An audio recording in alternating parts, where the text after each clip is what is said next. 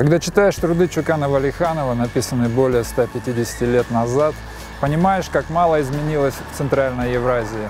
С одной стороны, люди летают в космос, у каждого появилась волшебная палочка в виде сотового телефона, но с другой стороны, все так же вспыхивают и подавляются уйгурские восстания в китайском Синьцзяне, также беспокойно в Киргизии, где неожиданно может поменяться власть, и также погружен в себя Кокант, но самое главное, продолжается и даже усиливается борьба сильнейших держав мира за недоступные горные районы Центральной Евразии, Афганистан, Кашгария. Словно там проходит таинственная ось управления миром, где даже небольшие растения с опиумным вкусом могут оказывать на мир большее влияние, чем все космические корабли и авианосцы вместе взятые. Именно туда в 1858 году отправился 22-летний Чокан Валиханов, чтобы услышать, как бьется сердце Евразии и рассказать миру о том, что там происходит. Именно туда отправляется Валихановская экспедиция, которая проходит под эгидой областного Алма-Атинского Акимата, для того, чтобы услышать сердце Евразии и попытаться разгадать его тайну.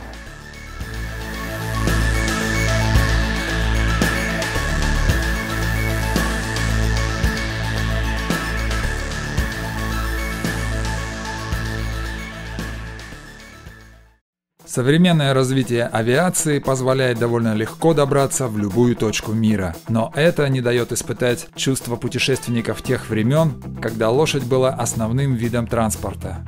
Участники Валихановской экспедиции решили пересечь Тяньшань, чтобы завершить повторение знаменитого кашгарского путешествия Чокана Валиханова. По замыслу руководителя экспедиции Маулена Есимханова, ее этапы максимально приближены к маршрутам Чокана. Поэтому в Кашгарию мы отправились через высокогорные перевалы Небесных гор.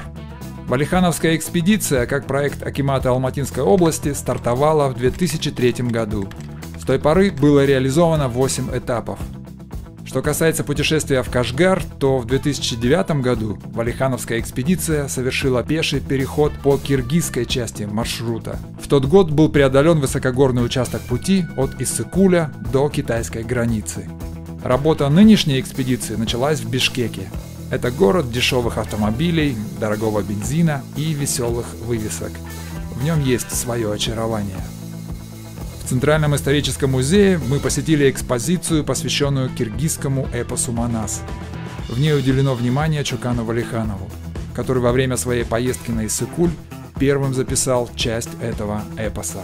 С великим произведением кыргызского народа, устного народного творчества Манас, Шокан столкнулся во время одного из своих первых путешествий. Это путешествие на Иссыкуль составе экспедиции полковника Хаментовского один из вечеров в юрте совершенно случайно пришел Манасше и начал рассказывать этот эпос. А Шокан был поражен. Поражен тому, что человек, который рассказывал эпос, это было не просто песня, это не просто повествование. Слова накладывались одно на другое, и человек как бы впадал в экстаз. В середине 19 века для просвещенной Европы Кашгария, именуемая также как Малая Бухария или Алтыншар, оставалась белым пятном. Огромная пустыня Такламакан, запертая в горном мешке между Тиньшанем, Памиром и Куньлунем, не располагала к процветанию.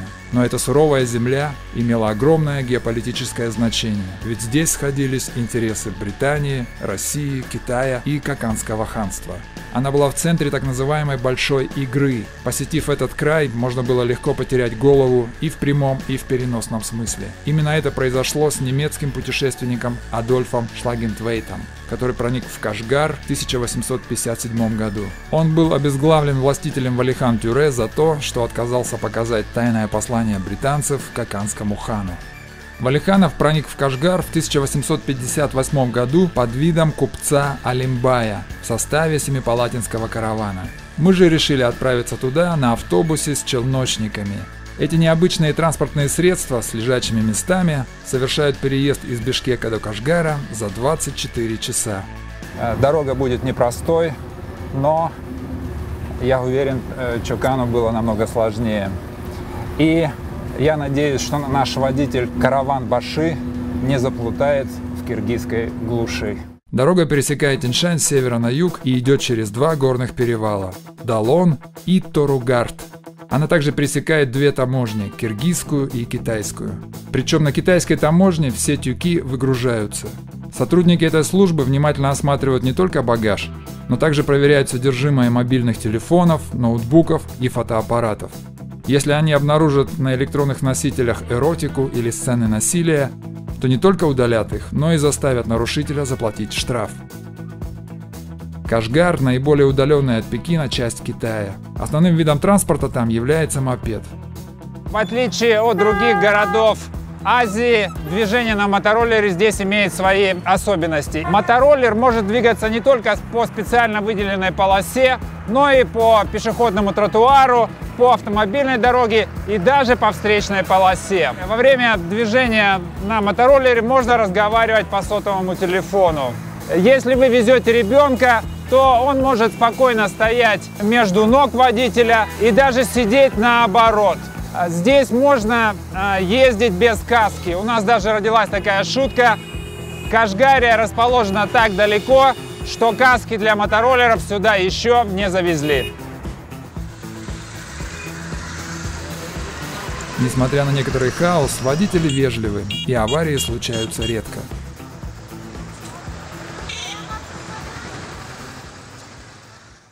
Во время нашего пребывания в Восточном Туркестане мы внимательно исследовали Кашгар, посетили места, в которых бывал Чокан, а также музеи и исторические памятники. Мы приехали к мавзолею Аппак-Кажа. Это один из проповедников суфизма здесь, на территории Восточного Туркестана, и один из тех, кто здесь проповедовал ислам. Одновременно он был еще и правителем. Этот мавзолей сооружен в 1640 году. Здесь же Аппак-Кажа захоронен. Это одно из зданий, которое сохранилось очень хорошо. Именно здесь вот представлена глазурованная плитка, минареты именно того периода, купола, которые представлены именно таким же образом. Шокан Валиханов не случайно сюда приезжал. Он сделал здесь зарисовки и описал все, что было связано с самим Апаккаже, каким образом он здесь проповедовал. И очень много времени уделил именно этому мавзолею. Многие патриархальные стороны жизни в Кашгаре сохраняются. Но можно легко заметить и уверенное движение к новым экономическим горизонтам, свойственное Большому Китаю. Например, то, что почти все мопеды на электрическом приводе. Это не только экологично, но и заметно снижает шумовой фон. Если учесть, что это основное средство передвижения, то можно сказать, что по количеству электротранспорта Кашгар даст фору большинству городов Европы. С кухней в Кашгаре туристы вряд ли будут испытывать проблемы. Здесь можно найти привычные для Центральной Азии плов, курт, манты, айран. При этом некоторые мантоварки выше человека. Поражаешься трудолюбию людей, которые в этом засушливом краю выращивают многочисленные плоды. Они здесь имеют свои особенности. Картофель крупный, его продают поштучно, встречаются плоды до килограмма. В то же время можно найти небольшие арбузы овальной формы. Хурма мягкая и очень нежная на вкус. Большое внимание уделяется винограду. В некоторых сельских районах улицы превращены в виноградные тоннели. Главным фруктовым символом в Кашгаре можно назвать гранат. Это понимаешь, когда посещаешь гранатовый рынок. Свежевыжатый сок граната повсеместно продается на улицах, как и многие другие блюда, но мы рекомендуем питаться в кафе и ресторанах. Каждый из нас купил по ящику гранатов домой. У нас даже родилась шутка. Если на таможне спросят, оружие есть, мы ответим «нет» только гранаты. Хотя с китайскими таможенниками лучше не шутить. Завтрак в Кашгарском отеле имеет свои особенности. Внешне это обычный шведский стол с легкими закусками. Но есть одно важное отличие для того, чтобы жители и гости победившего социализма не переедали. Есть специальная табличка 50 юаней заплатит тот, кто оставит что-то недоеденное на своей тарелке. Это способствует здоровью людей и оздоровляет бюджет страны. Мечеть Итках в центре Кашгара занимает значительную территорию, но не отличается большой высотой. Не стоит забывать, что Китай остается социалистической страной, в которой роль религии ограничена. Зато впечатляет площадь перед мечетью. Она может вместить огромное количество кашгарцев, приходящих сюда в дни религиозных праздников и всеобщих молитв. И вот в эту мечеть неоднократно приходил Шохан, присутствовал здесь на молении, на пятничный намаз. Даже сейчас в Кашгаре собирается порядка 10 тысяч человек. А вот в празднике во время Курбана Айта сюда собирается от 120 до 150 тысяч человек. Внутри самой мечети от 500 до 700 человек располагается, все остальные располагаются по территории этой площади. Чтобы понять, чем живет город, нужно посетить его рынок. Центральный рынок Кашгара – это целый город внутри города. По его товарам можно оценить уровень развития региона. В настоящее время, когда шелковый путь возрождается, у Кашгара есть шанс вновь стать важным звеном на этой дороге жизни, соединяющей Восток и Запад. Шохан, как только сюда заехал, практически полгода, большую часть времени проводил на базаре. На базаре всегда можно было узнать последние новости, все, что здесь происходит. Узнать, каким товаром кто торгует, из каких мест этот товар привезли, сколько он стоит. Практически основная жизнь всего города проходила на базаре. Базар мог начинаться рано утром, мог начинаться вечером. Практически базар существовал круглосуточно. Товары, которые привез сюда Шокан, сюда входили те же самые котлы, э, те же самые значит, казаны, те же самые лопаты, те же самые топоры, мотыги. Одновременно здесь торговали и живым товаром, имеется в виду скот, и значит, э, здесь большей частью торговали значит, овцами, баранами а также из разных мест с Андижана, с Хорезма, с Бухары, значит, с Индии, с разных мест, с Персии сюда привозили совершенно разные товары. И вот для Шахана это было очень интересно, откуда какой товар приходит. Привозной в Кашгар товар из провинций Бухары и Коканда преимущественно следующий. Краски, хлопчатая бумага, шелковые ткани, урюк, изюм, железо, Кроме того, пригоняют баранов, рогатый скот и лошадей. Вывоз кирпичный чай, байховый и других сортов. Но чай вывозится преимущественно в провинции и города азиатских государств. Мы находимся сейчас на территории мавзолея Юсуфа Баласагунского. Этот город находился на территории Жетусу, недалеко от города Такмака. Юсуф родился в городе Баласагун, а потом попозже переехал в Кашгар, и здесь он творил древний средневековый поэт, но учитывая, что чаще всего свои поэмы он посвящал правителям, скорее всего, поэтому его имя сохранилось в истории Кашгара. То есть еще один наш земляк в истории Кашгара сохранился. Тем не менее, мы были и в Краеведческом музее, и проехали по всей территории Кашгара. Имя нашего знаменитого земляка, великого путешественника Шапанова Лиханова, к сожалению, нигде никаким образом не отражено. Мы обратили внимание, что в целом в Китае и вот именно на территории Синьцзянь-Угурского автономного района очень большое внимание уделяется вот древним средневековым памятникам, которые сохранились еще с тех времен. В сфере туризма у кашгарцев наработан интересный опыт, с которым мы познакомились во время этой поездки.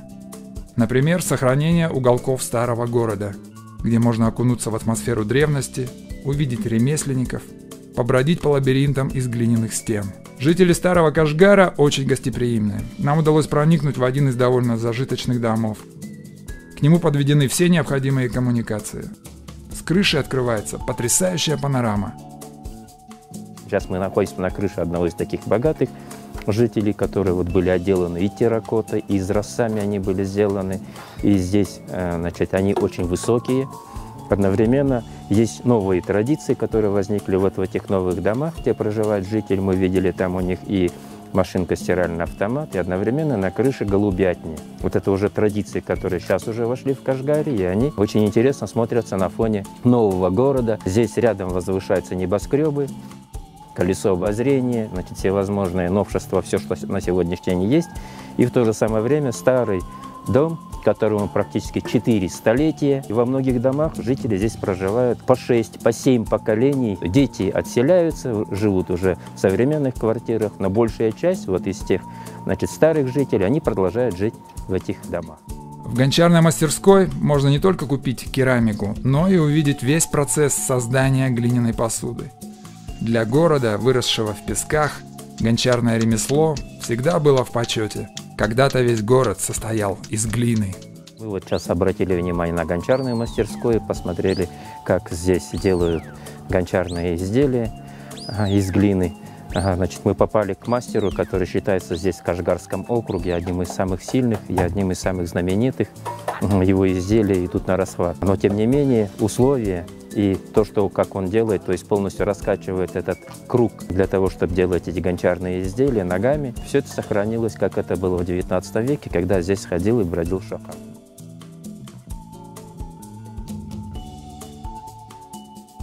Ашва 15 күндүк суда каламыз.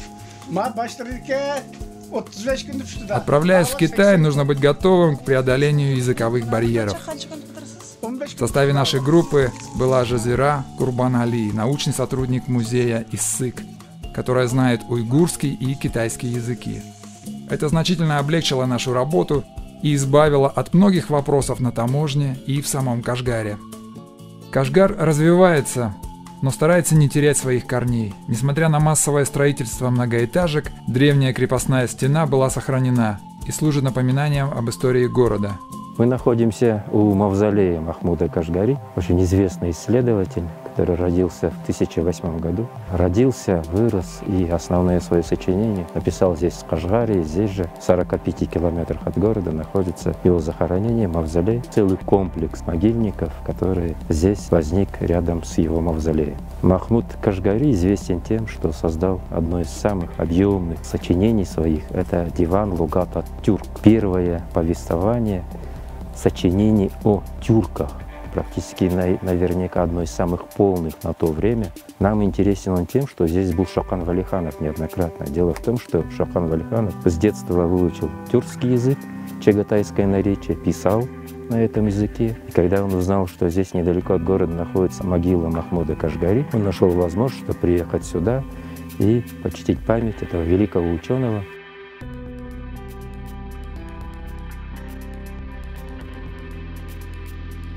Чтобы узнать, чем дышат окрестности Кашгара, мы решили выехать в соседний город Артуш. Там находится мавзолей Сатука Баграхана. Качество дорог оставляет хорошее впечатление. В Китае давно поняли, что большой скачок в экономике невозможен без надежных коммуникаций, особенно для протяженной страны. Сатук Баграхан, э, личность историческая. Для местных здесь, в Восточном Туркестане, это человек глубоко почитаемый. Они почитают его за святого. То есть человек, который не смог при жизни совершить хадж Мекку, может э, приехать сюда, побывать здесь, и это считается как бы своего рода малым хаджем. Мавзолей э, погребения Сатука Баграхана, который вот у меня здесь за спиной, был сооружен чуть позже, ближе к XIII веку. Но тем не менее, до сегодняшнего состояния он несколько раз, порядка десяти раз был частично разрушен, большей частью разрушен. Постепенно его восстанавливали. И вот последние реставрационные работы прошли в 1997 году. И вот нынешнее состояние, которое мы есть. Но там все же представлены в самом мавзолее экспонаты и даже вот образцы из рассов вот этого вот поливно, поливной вот керамики, которая вот покрыт сверху мавзолей, того времени, когда впервые этот мавзолей был сооружен. Сатук Баграхан был правителем Караханитского государства, и практически это один из тех, кто насильно насаждал ислам в Восточном Туркестане и большей части вот в шести, а то и жети шар, семи городах Восточного Туркестана. Шокану было очень интересно знать историю, он сам по своей природе был любознательным человеком, поэтому он пользовался любой возможностью, чтобы можно было приехать в свободное время, посетить древ, какие-то вот, э, значит, связанные с историей этого края. Там местные э, уйгуры, древние уйгуры, они поначалу были приверженцами манихейской веры и даже положительно относились к буддийской вере. Не сразу Кашгар, свободолюбивый такой вот город, в котором женщины никогда паранджу не носили, и мужчины, и, значит, и женщины вели свободный образ жизни и участвовали в государственной жизни. Здесь введение мусульманской меры, ограничение искусства, изображений людей, использовали только растительный орнамент. То есть ислам, с одной стороны, вносил очень серьезные ограничения.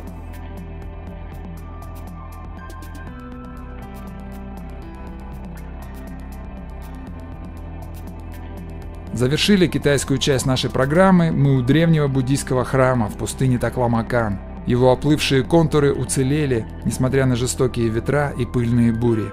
Такламакан – огромная пустыня, окруженная со всех сторон горами высотой более 7 тысяч метров.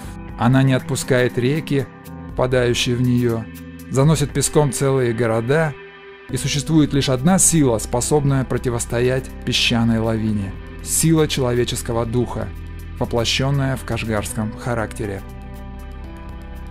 В конце 19-го, начале 20 века, когда Восточный Туркестан стал возможно, значит, сюда можно было приезжать, более открытой территорией стало.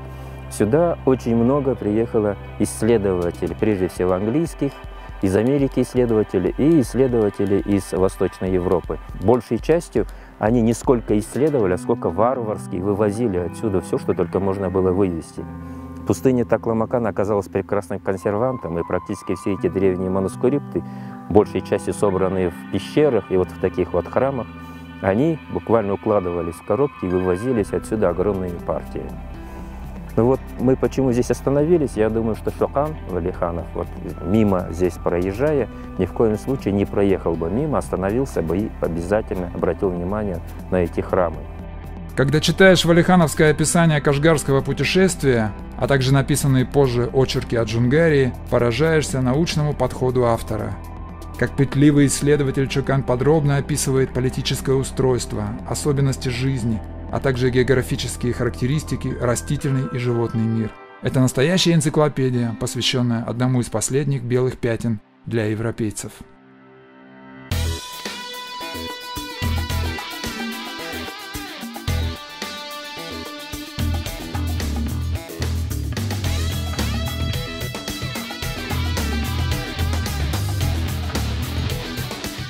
Мы возвращаемся из, из Кашгара на автобусе с лежачими местами. Для наших туристов это экзотика. Но для людей, которые путешествуют по Тиньшаню и по Кашгаре в этих местах, это самый привычный и комфортный вид транспорта. В места, которые трудно найти на карте, можно доехать на автоплацкарте.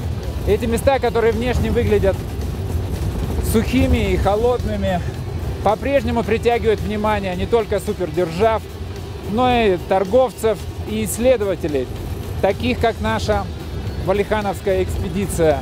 Несмотря на кропотливую таможню, нам удалось вывести все э, материалы. В целом экспедиция прошла успешно. Мы возвращаемся, вглядываясь в эти бескрайние просторы, так же, как и полтора века назад в них вглядывался Чукан Валиханов. И пытаемся понять загадку притяжения этой суровой земли. Но понятно одно. В край, который миру открыл Валиханов, не зарастает тропа караванов. Работа экспедиции продолжится. Нам предстоит побывать на месте рождения Чокана, осмыслить петербургский период его жизни. Есть планы повторить еще не пройденные маршруты на территории Семиречья. Наверняка мы вернемся и в Кашгар, город, который продолжает хранить немало загадок, так же, как и жизнь самого Чокана.